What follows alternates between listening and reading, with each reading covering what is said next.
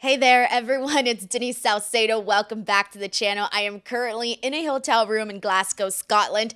And let me tell you, this is the most interesting little review that I've ever done. It's going to be very speedy because, well, case you're wondering what the hell my arm is doing, I am holding my own light because I botched it and didn't bring the little piece that attaches to the camera. And I, for the life of me, couldn't find anything else to use in order to have this camera, I mean, sorry, this light attached to the camera. So I had no choice but to have to carry my own light.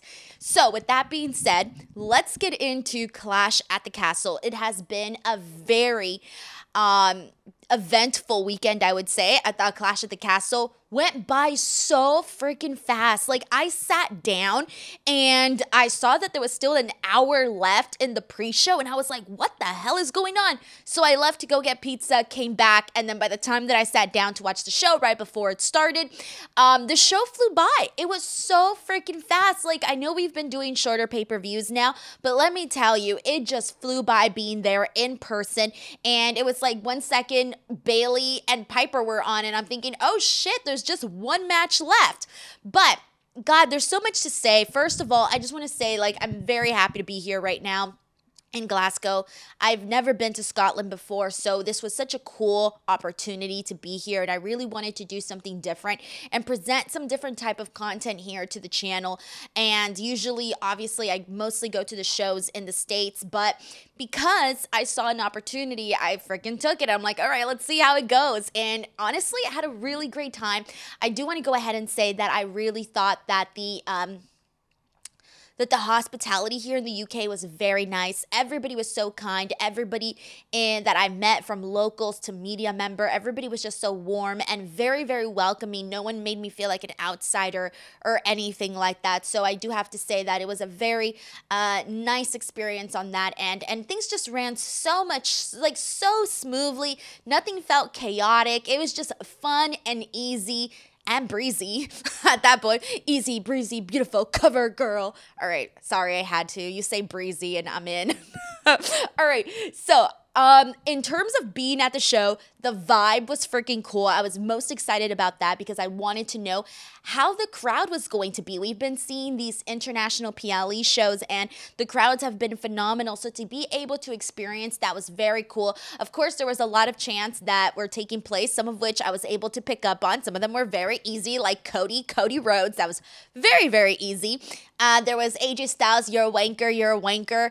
And I mean, there were so many other ones. I can't remember them right now, but there was some that I did struggle and I was like, what are they saying? But at some point, I figured it all out. It was very, very cool just to kind of see what was different, what was the same, and stuff like that. So, also, let's just get right into the show. So, we opened up with the I Quit match Cody Rhodes versus AJ Styles. I was very surprised that that match was opening the show because personally, I kind of felt like that was a match that could have easily gotten the crowd tired.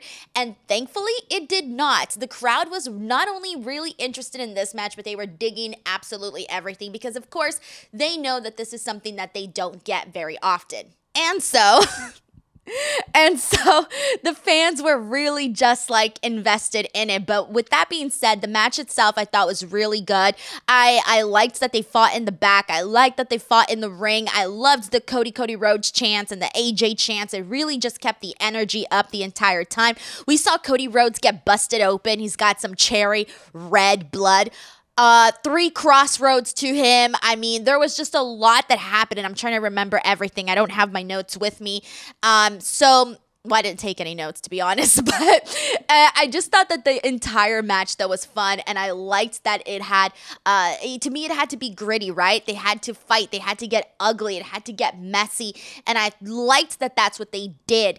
Um, I did not like the finish to this match, and that's just gonna be me being very honest. I felt that the finish to the match was just super lame. I really did because it was really just Cody taunting AJ, who's being handcuffed, and he's got the steel steps and he taunts him and AJ's like, I quit, I quit. And I'm like, oh, that's it. And I wasn't even ready. I was trying to film all the finishes to every match and I wasn't even ready for that because I wasn't expecting that to be the finish. I just kind of felt like the finish fell flat and did not match the execution of the match. And so I was not a fan of the finish of this match. And I did like that we saw Cody Rhodes' mom there. I actually, oh, when she was smacking AJ, I thought that was really funny. I actually thought that at some point AJ Styles was going to try to get his hands on Cody's mom, and I thought that was going to lead to Cody possibly quitting. Of course, I was not expecting Cody to lose, but again, I think I was just expecting more of a fireworks type of ending. But I think we did kind of get some fireworks afterwards because we saw a confrontation with Solo Sikoa confronting Cody Rhodes, and when the bloodline looked like they were going to attack Cody and all of that went down, Kevin Owens and Randy Orton came out and had his back. And I know a lot of people have been wondering, hey, when are we going to see Cody Rhodes and Randy Orton? That's something we've been waiting waiting for. So, um, that was cool. And I think that just the crowd getting to see Randy and KO and the bloodline, I think it kind of added to just, you know, a little bit more fun. And I, um, yeah, because it was weird too that the bloodline wasn't even on the card. So it felt like we almost didn't have anything of the bloodline, which was just weird and odd. So this sort of all worked itself out very nicely. But that was my quick thoughts on this match. Moving on to the next one. So the next one was the triple threat match, and it was for the women's tag team titles, Alba Fyre and Isla Dawn versus Shayna Baszler and Zoey Stark versus Bianca and Jade, the tag, the former tag team champions. So I went into this match fully expecting for Bianca and Jade to retain. And the reason I say that is because they have been a pretty, like, I thought they were supposed to be a dominant tag team, right? I thought they were going to book them to the moon, push them to the moon, right? Not let them fumble at all. I was picturing them like female tag team Gunther, just very, very strong in their uh, in their portrayal as champions, right? That's what I was truly expecting. So I wasn't expecting their reign to just end, and I also felt like neither Zoey and Shayna nor Isla and Alba had had enough of a push on the show to make me think that they could become champions, either team. And this is the one thing that I do wish that WWE did with the women's tag team division, where if there is going to be a team that is going to dethrone these champions, especially these champions that are presented in such a strong fashion, I want there to be a, a, a almost like a reason, like a reason in terms of before the event, right? Because we know the reason, right? It was Scotland. They were here. Of course, you were going to give them like a happy ending, which was really cool. Very, very nice moment. But I really wish that they would have booked Alba and Isla a lot stronger heading into the show so that I could be like, oh, hey, maybe they do have a chance. And same thing for Shayna and Zoey. So that was my only thing because I think you should put some respect on the women's tag team division. And by putting respect, I mean you gotta push these teams and actually make them look freaking good. And the way to do that is on the weekly television, not just like sporadically on the pay per view. So, very happy for Alba and Isla.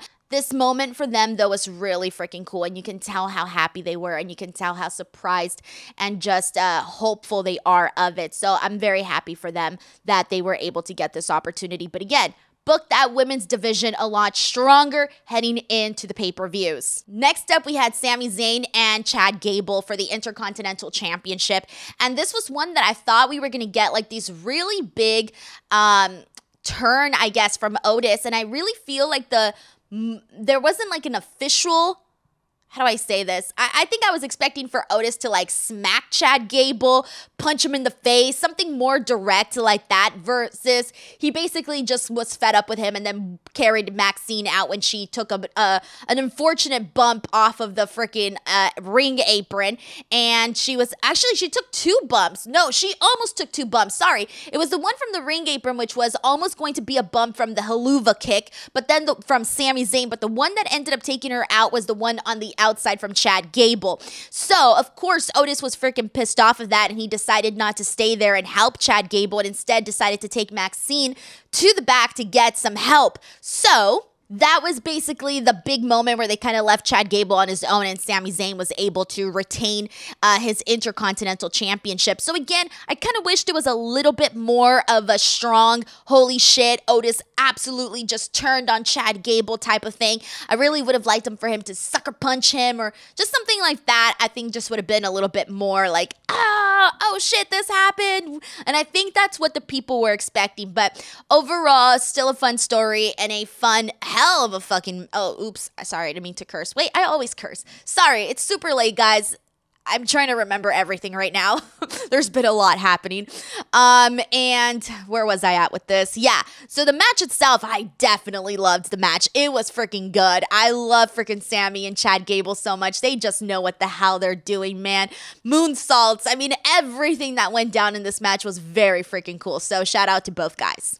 Next up, we had the WWE Women's Championship match, Bayley versus Piper Niven. And this was one that um, I actually kind of felt like the crowd, if they were tired in any match, it was kind of this one. I was expecting bigger reactions for both Piper and Bayley, so that did kind of surprise me. But I think once the match started, people got more into it. But I think at that point, people were primarily either waiting to see some sort of surprise with Piper Niven winning. At some point, I think the crowd was really starting to buy that Piper was actually going to win. Uh, I noticed that the crowd did bite into a couple of the moments where it looked like Piper had it. I at no point thought that Piper was actually going to win, so I didn't necessarily bite into those moments.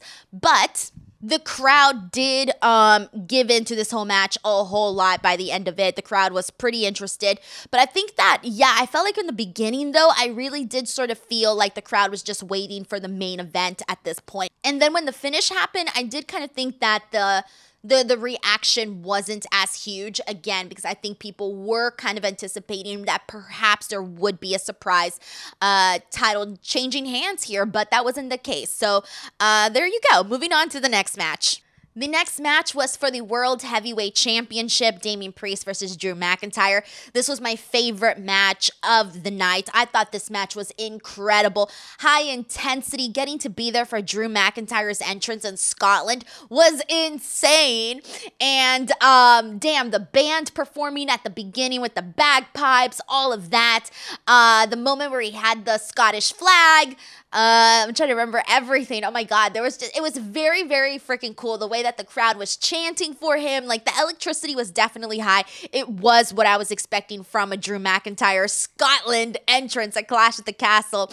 Um, and so let me think what else. Oh yeah, all right, all right. Sorry guys, it's almost what time is it? It's 2:04 a.m. right now and I've been uploading so much content, so my mind is kind of all over the place. And so there was one scary moment where Damian Priest looked like he was going to the outside, and unfortunately, his freaking foot, his ankle, got stuck in between the ropes, right? And there was a moment where like Drew was trying to stall for time, and the referee was trying to like take out Damian Priest's leg, and he's just hanging there upside down.